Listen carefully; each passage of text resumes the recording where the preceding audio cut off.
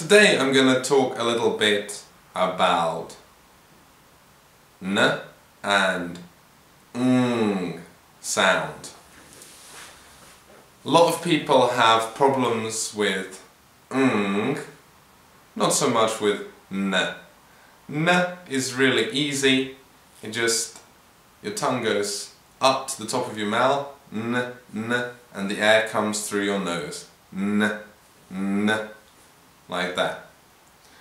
Ng, what do I mean by that? Like words maybe thinking, that last sound, and perhaps what else?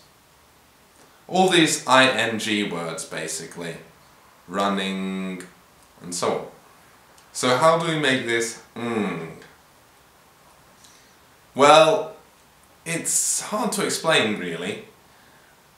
The main thing you've got to achieve with this sound is make sure the back of your tongue is hitting the roof of your mouth. I'm going to try and show you this now, hopefully it won't be too creepy. Mm, mm, mm. Can you see how my tongue goes right to the top of my mouth? Right, so that's so important. Mm, mm. And it's it's not how uh, I used to think it is, you know, with a g. It's not ing. It's mm.